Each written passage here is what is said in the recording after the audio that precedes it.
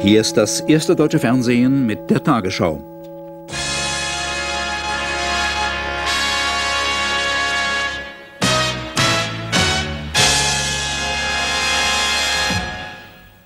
Guten Abend, meine Damen und Herren. Ein begeisterter Empfang wurde heute Nachmittag der deutschen Fußballnationalmannschaft bei ihrer Rückkehr in Frankfurt begleitet. Die stürmische Begrüßung der Weltmeisterelf knüpft an den Jubel der vergangenen Nacht an, in der Hunderttausende mit Autoumzügen, Hubkonzerten und Straßentänzen den 1 zu 0 Sieg über Argentinien feierten. Die Freudenkundgebungen waren in einigen Städten allerdings von Krawallen und ausländerfeindlichen Ausschreitungen überschattet. Eine Sondermaschine der Luftwaffe brachte die Fußballweltmeister von Rom nach Frankfurt. Um 14.40 Uhr, etwa eineinhalb Stunden später als vorgesehen, betraten die Spieler deutschen Boden. Lothar Matthäus mit dem Weltcup in der Hand, neben ihm Beckenbauer und Libarski waren die ersten auf der Gangway. Vom Rhein-Main-Flughafen aus ging es mit 22 Cabrios in einem Autokonvoi Richtung Frankfurter Innenstadt. Überall auf dem Weg die gleichen Bilder. Tausende Fußballfans jubelten ihrer Mannschaft zu überhäuften sie mit Glückwünschen und Konfetti. Auf dem Römerberg hatten mehr als 50.000 Menschen die Ankunft der Weltmeister erwartet. Anwohner sorgten für die nötige Abkühlung von oben.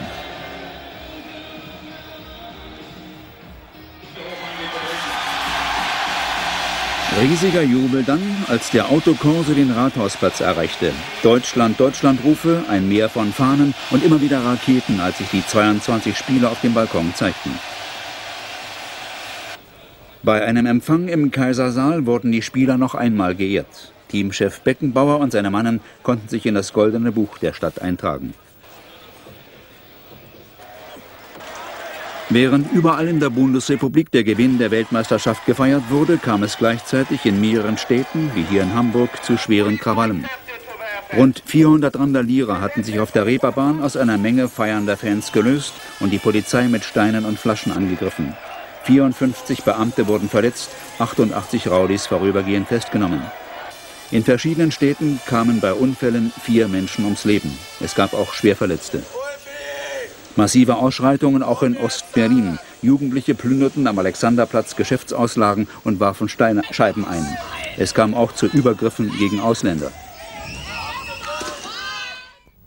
Weitere Berichte und Informationen nach der gewonnenen Fußball-Weltmeisterschaft bringt das erste deutsche Fernsehen direkt im Anschluss an diese Tagesschau. Aus Frankfurt nun die Wettervorhersage für morgen Dienstag, den 10. Juli.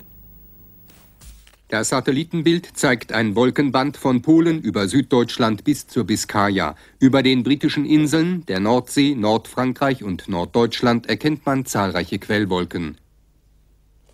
Ursache dafür war die Meereskaltluft, die zwischen einem Hoch über dem Nordatlantik und einem Tief über Skandinavien nach Deutschland einfließt.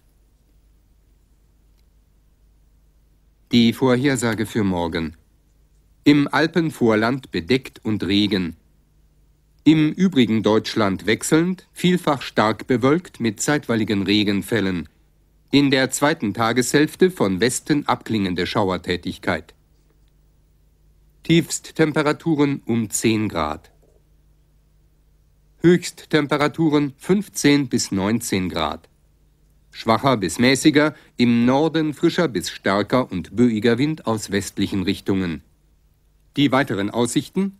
Am Mittwoch nördlich der Mainlinie Durchzug starker Bewölkung. Im Norden zeitweise Regen. Im übrigen Deutschland heiter bis wolkig und trocken.